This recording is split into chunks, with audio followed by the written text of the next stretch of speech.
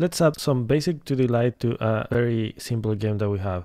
This game was created only using Visual Script and you can move a character around the screen, but there's nothing else happening. Actually, the trees are not even there. You can go over them because it's only a background, but it's gonna be enough for us to demonstrate this simple example. To start adding lights and shadows, I will first add a light to the kinematic body that we have here. This is our character.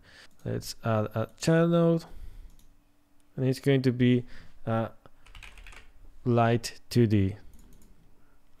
Now that we have the light 2D, we need to add a texture to it. Without a texture, the light is not gonna be happening.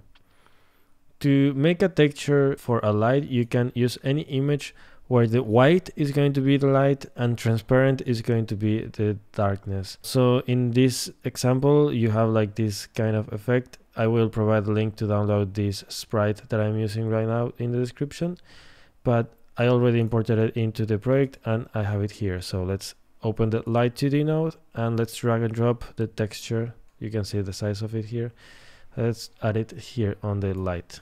And as soon as I do that, you see that the image already gets brighter around where it is. So we have that working right now. The next thing you want to do is enabling shadows. So whenever you open this section, you can click here on enable and that's pretty much it. You can now add a new node, which is going to be a light occluder 2D. This is everything that will block the light and create a shadow. So let's build one here. So you can see there are new options here at the top of the editor. This means that we need to create a vector. We have a warning here, which is like you need a polygon first. You can draw it, which is going to be the occluder. Let's do one for this tree. Let's say I'm gonna start clicking. It will ask me, no polygon resource. Do you want to create one? Yes, let's create one. So I start clicking here, now here, and here. Okay, and I click it again to finish it. So now I have this polygon that I can modify anytime. And as you can see on the editor, I already see like a shadow.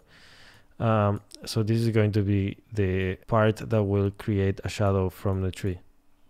So if you see here, I can move the character in the editor and I already see the shadow being drawn on this scene.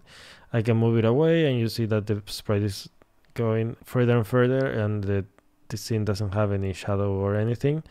But now that I'm moving it closer, you can see it again and I can move it. So I'm going to apply the same to all the trees and I can do so by just clicking here and duplicating with Control D and I can set the shadow to the rest of the trees. Like so, okay. And now let's create another one maybe for this entire house part. Let's create a new one, like the occluder 2D, clicking, create one. And now I will do something like this. Let's see, just a block. Okay, so that's gonna be for the house. Okay, so now if I run the game, you can see that all the trees emit a shadow. And if I move the character around, it's going to be casting the shadow on the occluders. Also for the house like if i'm behind the house like i cannot see anything in front of it like any light. And if i move in front of it it will. Uh, so that's a very simple way of adding 2d lights and shadows. You can play around with it. There's a lot of extra options that you can touch.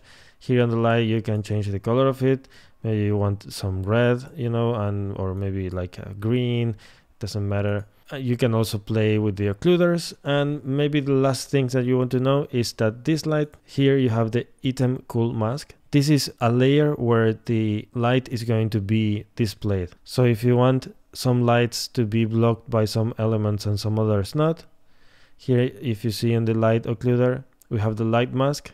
This is the same layer as the light. So if i remove it i don't see it because it's not on the same layer this will work if you want to add multiple lights and you want those lights to be casting different shadows in different characters. But I will let you play with that if you want. uh, that's it for today and i hope you like this small tutorial i would really like to thank my patreons and if you want to help me making more of these videos you can visit my patreon here and yeah see you next time